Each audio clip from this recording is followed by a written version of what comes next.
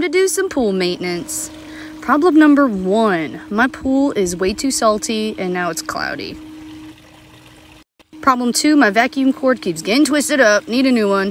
Problem number three, all this gunk, ew, need to scrub that.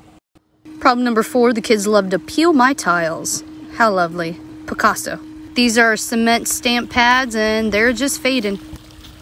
Been trying to dilute my salt, but that shit is still so high. Look at that. Seven. It's supposed to be between three and four. Now I look at my waterfall, it's halfway working.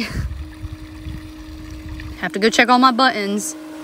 This is my Pentair saltwater system. Yep, one of the buttons was shut off. I figured out the problem.